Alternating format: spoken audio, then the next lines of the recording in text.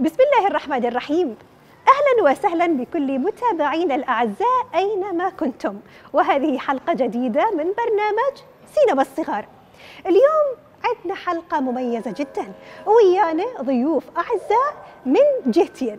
الجهة الأولى هي مدرسة المقاصد الابتدائية الأهلية وأيضا من مؤسسة ريتال الخيرية. وحلقة مميزة إن شاء الله من سينما الصغار.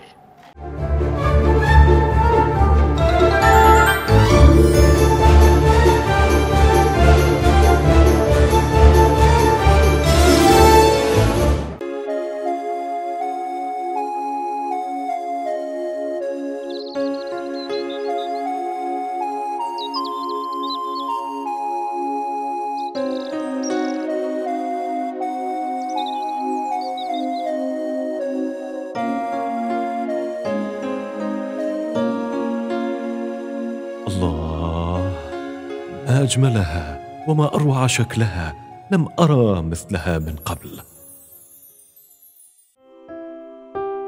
السلام عليكم. وعليكم السلام ورحمة الله وبركاته. آه بكم تبيعها؟ لا أعرف قيمتها. ولكن بكم تشتريها أنت؟ لا أعرف قيمتها أيضاً. ولكن أعطها هدية إلى أحد الأمراء وأنا أضمن لك ما هو أهم من الدنانير والدراهم. ما هو؟ أضمن لك أن تكون مقربا من هذا الأمير. وإذا أعطيتها لك فهل تضمن لي أن تعطيها لهذا الأمير وانال هذا الشرف؟ بالطبع هاتها هاتها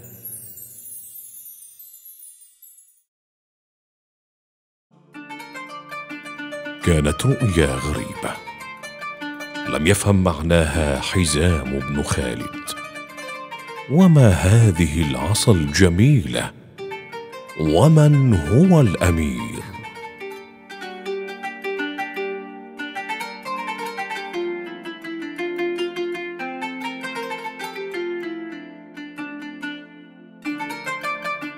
ما إن أنهى السفر. حتى توجه إلى أحد أصدقائه ممن يجيدون تفسير الأحلام. لو صدقت رؤياك فسوف ترزق بإذن الله بابنة يختبها منك. أحد العظماء وسوف يكون لابنتك شأن. ولك أيضا بما أنك والدها. فرح حزام جدا بهذا التفسير. وقد ترك زوجته ثمامة حاملا. وإذا رزق بابنه فقد يكون تفسير الرؤيا صحيحا. وقد كانت فتاة بالفعل. ماذا سنسميها يا حزام؟ لم أرد اختيار اسم لها حتى تعود من رحلتك.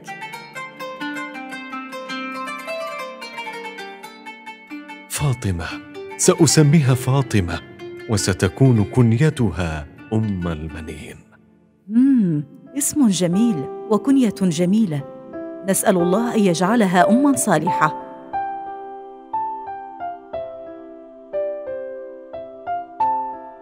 ولكن حزام لم يعتمد على تلك الرؤيا بل قرر تربية ابنته تربية سليمة بأن تعرف أمور دينها وواجباتها جيدا.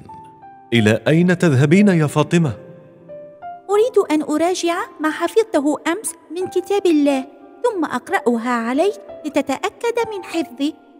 كما تفعل كل يوم.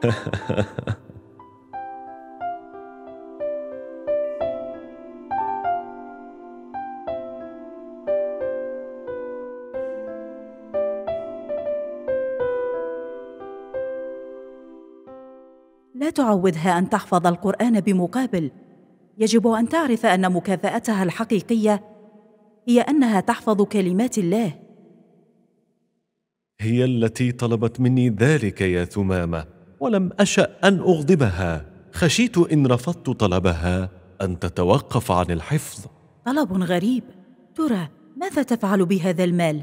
لا أدري ولكنه مبلغ بسيط. درهم في اليوم. ربما تدخر المال لتشتري شيئا تريده. من تراه يأتي الآن؟ السلام عليكم يا سيدي. وعليك السلام ورحمة الله. خيرا يا سيدتي. أتيت لآخذ نصيبي اليومي. ينصيب. أنا امرأة فقيرة وهناك طفلة جميلة هنا. تعطيني كل يوم درهما. وكنت مريضة يوم أمس. فلم أستطع الحضور؟ وقد جئت اليوم لاخذ نصيب اليوم والبارحة. ابنتي فاطمة تفعل ذلك؟ الحمد لله. الحمد لله. الحمد لله. كبرت فاطمة وكانت تزداد تقوى وزهدا وورعا فصارت مثالا للفتاة المسلمة التي يتمناها أي أب وأي أم. أمي هل تذكرين تلك الرؤيا التي كنت تحكين لي أن أبي رآها قبل مولدي؟ نعم كان ذلك منذ زمن طويل. لقد رأيت أمس رؤيا وأردت أن أقصها عليك. ربما كانت لها علاقة برؤيا هم، ماذا رأيت؟ كنت أجلس في بستان مليء بالأشجار المثمرة. كنت أنظر إلى السماء وأنا أفكر في عظمة الله. خلق سماء مرفوعة بغير عمد وقمرا منيرا وكواكب زاهرة. وفجأة إذ بي أرى كأن القمر قد ترك السماء ووقع في حجري وهو يتلألأ نورا يغشى الأبصار. تعجبت من ذلك وبعد ذلك رأيت ثلاثة نجوم زواهر قد وقعن في حجري وقد غشي نورهن بصري. ترى ما تفسير هذه الرؤيا؟ لا أعرف تفسيرها بالضبط ولكنها خير بإذن الله. هكذا يحدثني قلبي. قلبك يحدثك بالصواب يا ثمامة. أبي هل سمعتني وأنا أحكي لأمي؟ وقد جئت منذ قليل ومعي تفسير الرؤية. هم، هذه الرؤية والرؤيا التي رأيتها قبل مولدك. كنت أشعر أنهما مرتبطتان. أخبرني يا أبي. زارني اليوم الصحابي الجليل عقيل بن أبي طالب. أخو الخليفة علي بن أبي طالب عليه السلام؟ نعم يا ثمامه وقد أخبرني أن أمير المؤمنين يبحث عن زوجة وقد رشح له عقيل واحدة لا يرى من هي أنسب منها لتكون زوجة له إنها أنت يا فاطمة. لم تتمالك فاطمة نفسها من السعادة. الحمد لله. أي زوج لابنتنا خير من أمير المؤمنين وابن عم رسول الله صلى الله عليه وآله وسلم. تم الزفاف الميمون. وتزوجت أم البنين بعلي بن أبي طالب عليه السلام. كان أول طلب لها من زوجها طلبا غريبا. ولكنه مثال لأخلاق وأفكار المرأة المسلمة ذات القلب المؤمن. يا أمير المؤمنين يا زوجي العزيز اسمح لي أن أطلب منك طلبا. أرجو أن لا تتعجب منه.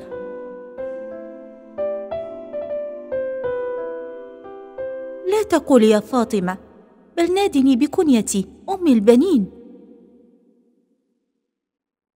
أعرف أنه طلب غريب ولكن أخاف على مشاعر ابنيك الحسن والحسين. سيدي شباب أهل الجنة فلا بد أنهما يفتقدان أمهما فاطمة الزهراء عليها السلام. وأخشى أن يذكراها كلما ناديتني باسمي. الذي أشرف أنه كاسمها عليها السلام. ولكن إذا ناديتني بأم البنين فلن تجرح إحساسهما. والله يعلم كم أحبهما. وأتمنى أن أكون لهما أما تقوم برعاية شؤونهما على أحسن وجه.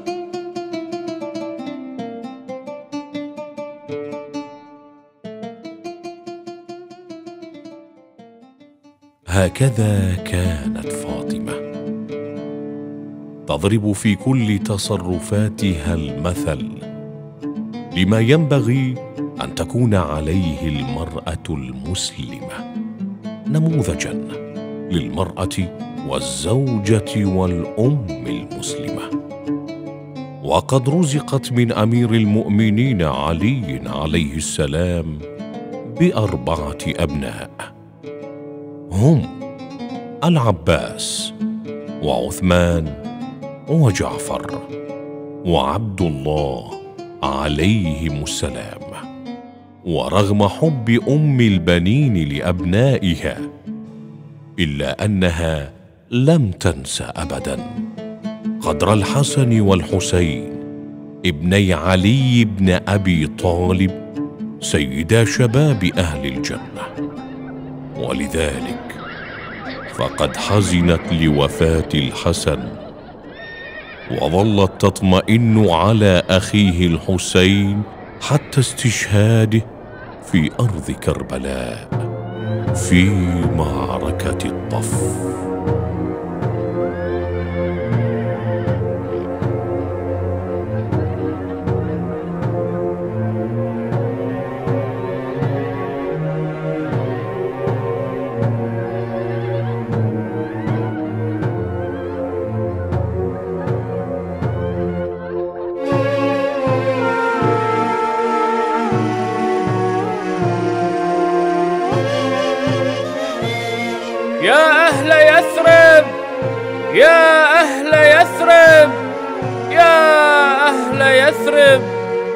لا مقام لكم بها. قتل الحسين فأدمعي مدرار. الجسم منه بكربلاء مضرج والرأس منه على القناة يدار. أيها الناعي أيها الناعي أخبرني عن حبيبي وولدي الحسين. من أنت؟ أنا أم البنين. زوجة أمير المؤمنين. يا أم البنين عظم الله لك الأجر بولدك جعفر. أخبرني عن ولدي الحسين. عظم الله لك الأجر بولدك عثمان. ما سألتك عن أولادي أخبرني عن حبيبي الحسين. عظم الله لك الأجر بولدك عبد الله. يا بشر لقد كسرت قلبي وزدتني كربا فوق كربي. ما سألتك عن أولادي سألتك عن ولدي الحسين. يا أم البنين عظم الله لك الأجر بقمر العشيرة أبي الفضل العباس. والله قطعتني أعط قلبي. أخبرني عن سيدي وولدي الحسين. يا أمه عظم الله لك الأجر بأبي عبد الله الحسين.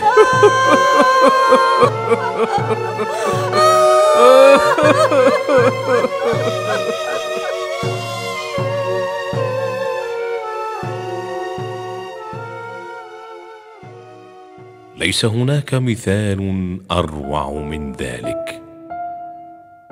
إنه مثال تضربه لنا أم البنين فاطمة بنت حزام التي ظلت ترعى أحفاد أبنائها وأحفاد الحسن والحسين. في الثالث عشر من جماد الآخرة سنة أربع وستين للهجرة. رحمها الله. وجمعها في الجنة بمن أحبتهم في الدنيا.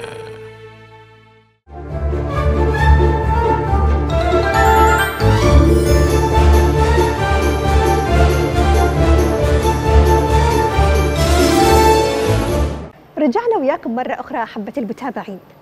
وشفنا قبل شوية فيلم تم اختياره لسيدة عظيمة وجليلة وإلها مواقف لا يمكن أن نتغافل عنها أريد أول سؤال أسأله الفيلم اللي شفتوه عن منو؟ من يقدر يجاوبني؟ إي ماما أول مرة شنو اسمك؟ حسن حسن يا صف حسن خامس خامس؟ للخامس. يا مدرسة؟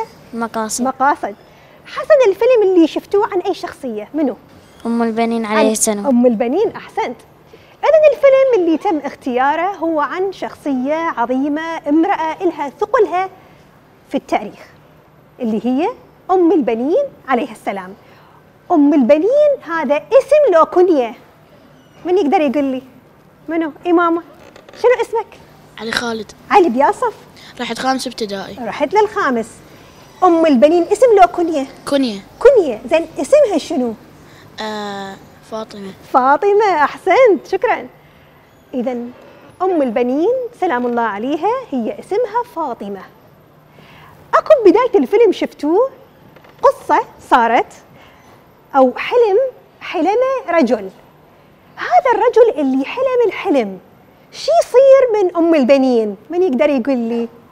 يا حبيبتي أول مرة خلينا نعرف شنو اسمك. تاج. تاج.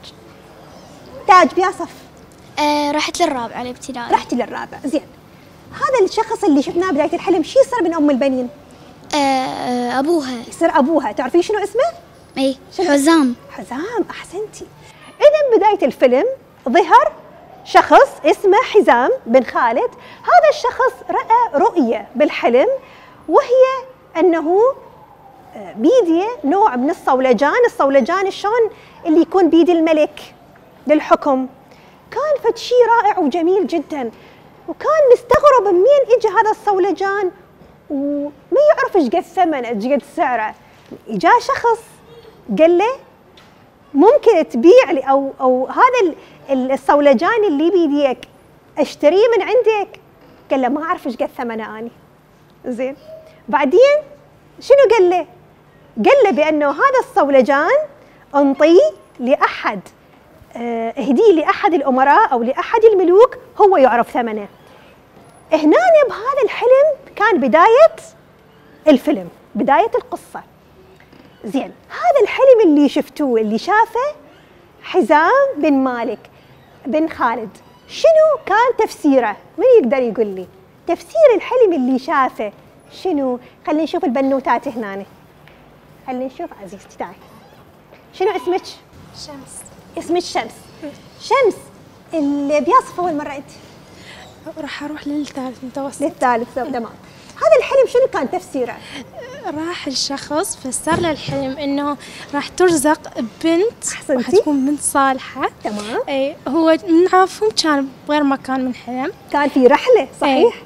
آه فقال بن- مرته كانت حامل. بلي. اي بعدين من رجع لقاها فتاة وقال إنه هاي البنية حتى ترزق من أحد العظماء يعني تتزوج من شخص عظيم أحسنتي. وتزوجت من علي بن أبي طالب. سلام الله عليه. أحسنتي. شكرا. اذا شمس قالت لنا تفسير الحلم بالضبط شنو؟ هو فعلا. تفسير الحلم كان بأنه أنت راح ترزق ببنت. وبنت إلها شأن جدا عظيم. هذه البنت ذات الشأن العظيم والمكانة الراقية اللي راح تحصل عليها أيضا راح تتزوج من شخص من العظماء. وهاي فعلا تحققت لما رجع من السفر اللي كان هو بيه لقى زوجته اللي كانت حامل وضعت بنت جميلة. هذه البنت هي منو؟ هي أم البنين. هنا أمها كانت مسميتها أو بعدها ما مختارة لها اسم. من يقدر يقول لي من راح شاف الطفلة؟ هل كان مختار لها اسم أو لا؟ خلينا نشوف هنا خلينا نشوف واحد من الحبابين. شنو اسمك؟ محمد. محمد. محمد ياسف؟ خامس. خامس. منو اختار الاسم؟ هي كانت الأم مسميتها للطفلة؟ لو لا. منو؟ أبوه أبوها. شنو سماها؟ فاطمة. وشنو كنيتها؟ أم البنين. أحسنت. أحسنت يا محمد. شكرا. اذا هنا المرأة احترمت غياب زوجها وانتظرت زوجها يجي من السفر حتى يختار تسمية لهذه الطفلة. وفعلا تم تسميتها بفاطمة وكنيتها أم البنين. زين. هنا هذه الطفلة بعد ما عرف والدها بأنه هذه الطفلة راح يكون لها شأن عظيم. هل اكتفى؟ قال يلا هي بعد راح تكبر راح يصير شأن عظيم إلها؟ وتمام ها هي.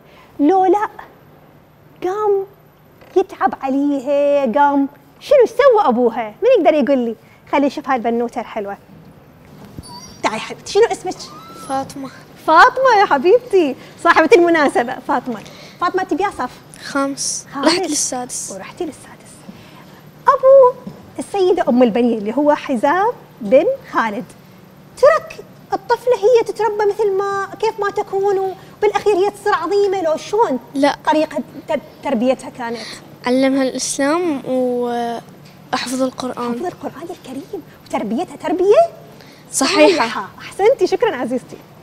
إذا الأب رغم معرفته ورغم أنه شاف بالرؤية هذه الطفلة إيش قد راح تكون عظيمة وإيش قد مستقبلها راح يكون جيد لكن مع ذلك ما اكتفى وإنما بقى اشتغل على بنته بطريقة تربية راقية جدا.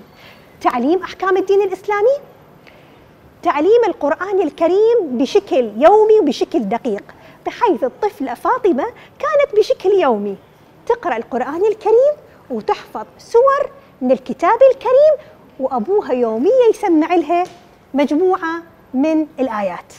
زين. هنا السيدة فاطمة أم البنين كانت تطلب من والدها شنو؟ تطلب من والدها مبلغ مالي على كل آيات قرآنية تحفظها. زين ليش كانت تسوي هيك؟ من يقدر يعرف؟ بالفيلم شفناها.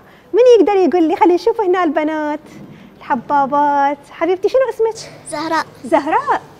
زهراء السيدة أم البنين كانت تطلب مبالغ مالية درهم باليوم لأن كانت تحفظ قرآن كريم. أهلها ما كانوا يعرفون ليش.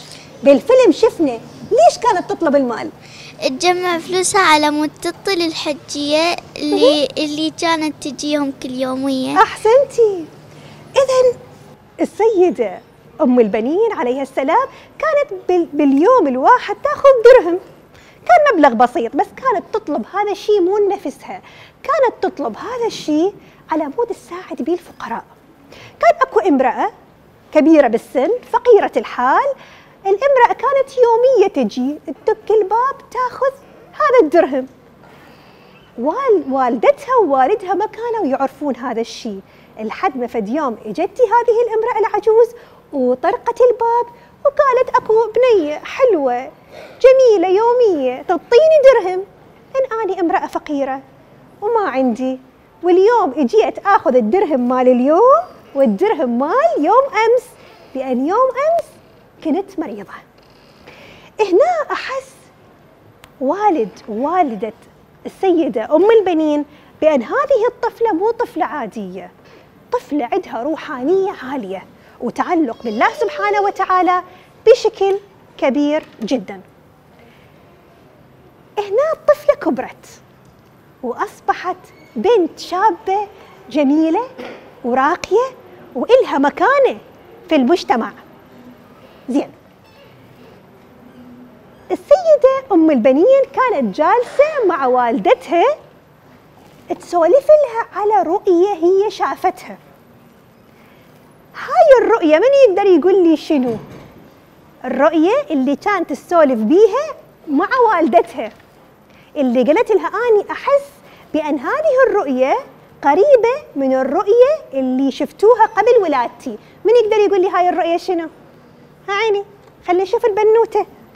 الأوقف خلي أوصل لك شوي دقيقة خلي أجي يمك هناني. أوقفي حبيبتي خلي أحكي وياك. شنو اسمك عيني؟ ميار. ميار. أوقفي حتى خلي أشوفك. زين ميار. الحلم الثاني اللي شافته السيدة أم البنين واللي حست أنه أكو إله ارتباط مع الحلم الأول. شنو كان؟ هي كانت قاعدة. بمكان تمام. يعني حديقة كبيرة. أها. وحلمت بأنه كانت تسبح لله سبحانه وتعالى وتشوف الكون. شنو اللي وقع فيه حجرها؟ وقع في حجرها القمر, القمر؟ والنجوم. وثلاث نجوم. أحسنتي شكرا. إذا ميار سولفتنا عن الحلم الثاني اللي شافته السيدة أم البنين. عليها السلام. زين. الحلم الثاني كان عبارة عن أنه كانت جالسة في مكان حديقة جميلة جدا. وكانت تسبح لله سبحانه وتعالى وتشاهد عظمة الله سبحانه وتعالى بهذا الكون. وإذا وهي جالسة سقط في حجرها القمر. القمر بجماله وهو يتلألأ وقع في حجرها. مو بس القمر معاه ثلاثة نجوم. زين بعد ما كانت تسولف لوالدتها هذا الحلم دخل عليهم. بالفيلم شفتوه منو دخل عليهم؟ اي حبيبتي؟ شنو اسمك؟ أمل. أمل. يا صف أمل. رابع؟ رحت الخامس. رحتي للخامس كل الزين. تفسير الحلم كان شنو؟ منو دخل؟ وفسر لهم الحلم. أبوها. أبوها. زين شنو كان تفسيره؟ تفسيره؟ خلينا نسأل بالله غيرك تمام شكرا. من يقدر يجاوبني؟ يلا حبيبي خلي أجيك اوقف دقيقة. اللي أجي هنا شنو؟ قوم وقف خليني احكي وياك. شنو اسمك حبيبي؟ حسين حسين. شنو كان تفسير الحلم؟ تفسير الحلم أن أن يكون أن تتزوج ال- أمير المؤمنين علي علي عليه السلام احسن وتنجب منها أطفال أطفاله. أحسن. تمام. عاشت إيدك حسين يا صفتك رحت للأول. رحت الأول متوسط. عاشت إيدك شكرا يا حسين. اذا حسين سولف لنا شنو معنى الحلم ومنو اللي فسره؟ دخل وال- والدها وقال لهم بأنه أنا أعرف تفسير الحلم إجاني قبل شوية عقيل بن أبي طالب. وعقيل بن أبي طالب هو أخو الإمام علي بن أبي طالب عليه السلام. وكان يبحث عن زوجة لأمير المؤمنين. وهنا كانت السيدة أم البنين سعيدة بشكل جدا كبير لأنه راح تكون زوجة لابن عم النبي ولعلي أمير المؤمنين اللي هو الوصي. تمام؟ زين. هنا تمت مراسيم الزفاف. أول طلب طلبته السيدة أم البنين. زين أكو طلب طلبته من الإمام علي بن أبي طالب عليه السلام في أول يوم. شنو هذا الطلب؟ من يقدر يقول لي؟ خل أشوف هذا الولد الحباب خل أروح له وأسأله. يلا حبيبي تعال. قم وقف خل أسألك. شنو اسمك عيني؟ سجاد آريان. سجاد. سجاد شنو الطلب؟ اللي طلبته أم البنين من أمير المؤمنين أول طلب. أم البنين عليه السلام طلبت من الإمام علي عليه السلام أنه ما يناديها باسمها حتى ال- الإمام الحسن والحسين ما يذكرون أمهم فاطمة الزهراء عليه السلام. أحسن. شكرا يا صفتي نجحت للأول. نجحت. عافية عاشت لك. شاطر. شكرا. إذا مثل ما شفنا شفنا الإجابة. أول طلب طلبته السيدة أم البنين عليها السلام بأنه ما يناديها أمير المؤمنين باسمها؟ هي كان اسمها فاطمة. والسيدة فاطمة الزهراء عليها السلام كانت متوفية وعندها أولادها الحسن والحسين.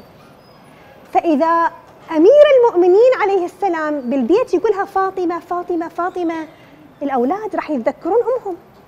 وهيجي سيدي شباب أهل الجنة راح يعني ينقهرون وراح يتأذون. فهي كانت تحبهم بشكل كبير بحيث ما تريدهم ينقهرون. ما تريد تشوف الحزن بعيونهم. فلهذا طلبت بأنه تكون تسميتها دائما بأم البنين.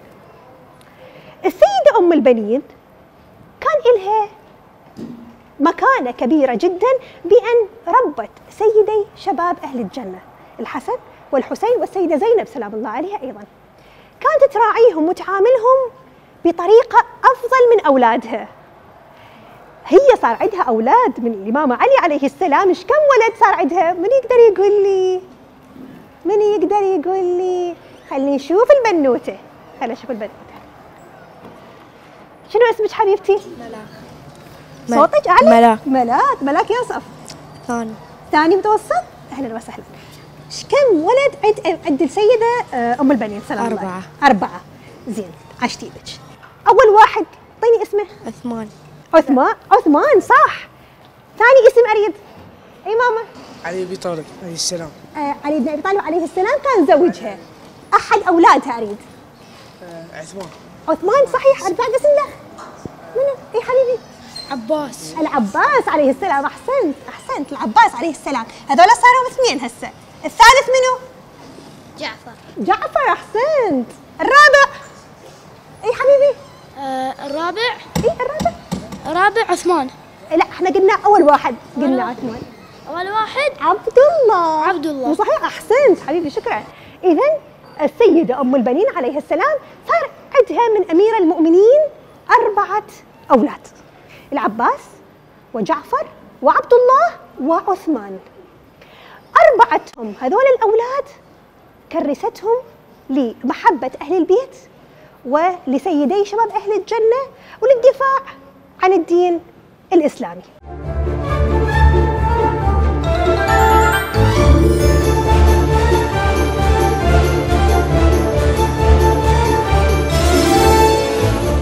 هنا صارت عدة أحداث بالأمة الإسلامية.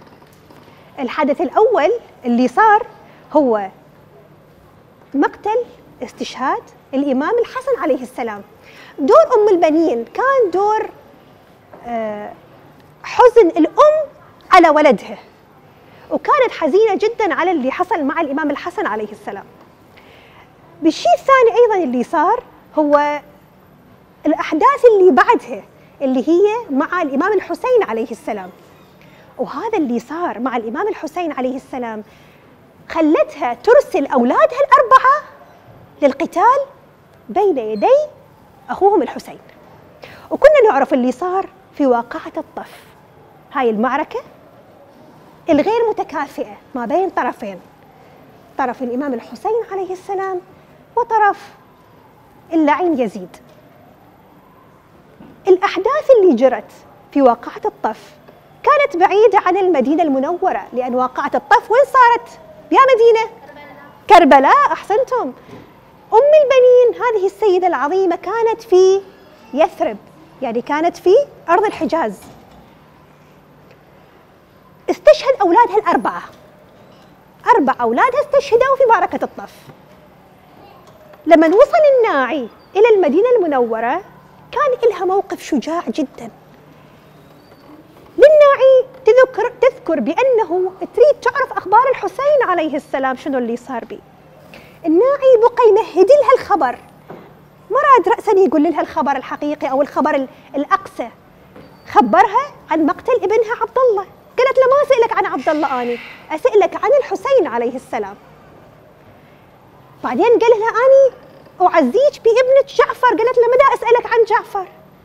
أسألك عن الحسين. قالها عظم الله لك الأجر. بعثمان قالت له مدى أسألك عن أولادي؟ خبرني عن ابن الحسين شنو اللي صار بي.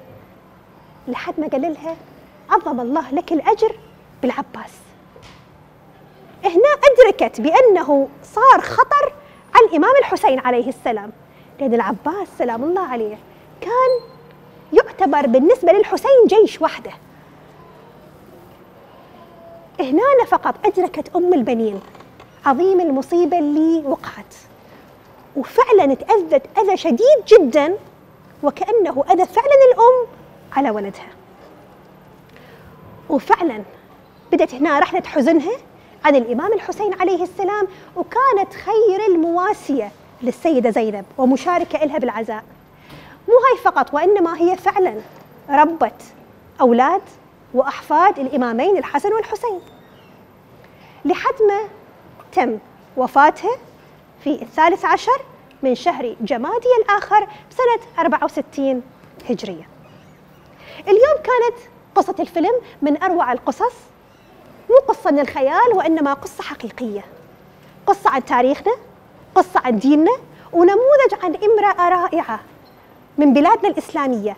امرأة مضحية امرأة لها مكانة جدا كبيرة عند الله سبحانه وتعالى وأيضا ويانا. أشكر شكر جزيل اليوم الأولاد والبنات الحلوين اللي شاركوني في هاي الحلقة الموجودة اللي هي آه، شاركوني وياها مدرسة المقاصد الأهلية الابتدائية وأيضا آه، مؤسسة ريتال للخيرية. طبعا شكر جزيل لهم على حضورهم إلى مدينة الحلم اليوم في شارع فلسطين. حتى نسوي هاي الحلقة الحلوة من سينما الصغار. إن شاء الله نتشاوف أيضا في حلقات أخرى جديدة. خليكم ويانا مع حلقات أخرى.